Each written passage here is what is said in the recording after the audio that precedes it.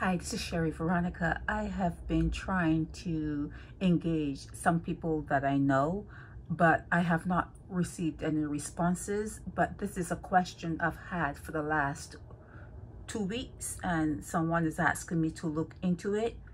They are saying that they want to know who the doctor is that is doing a whole lot of operating on women with fibroids or I guess that's what they are yeah.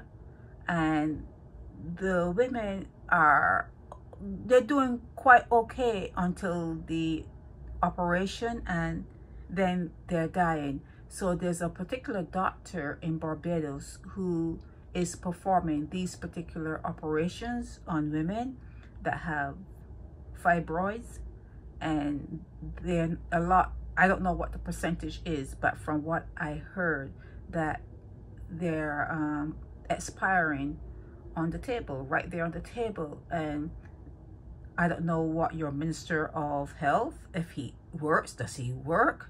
I, I have no idea, but I would like to start a conversation, start a conversation on uh, otherwise healthy female and they're going to have that procedure and then you get the call that you know that they didn't make it.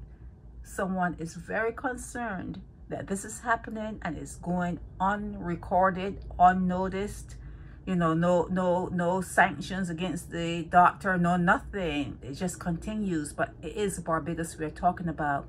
So i was waiting to hear back from people but I decided to do the blog. Maybe this will jumpstart something once I've done this. But let us know. Let us know if you know of anyone who has had this happen to a family member because I'm telling you, there's concern about young, otherwise healthy people, and not old, you know, relatively young, going in to have this procedure done and expiring right on the table, right there on the table. This is Sheri Veronica.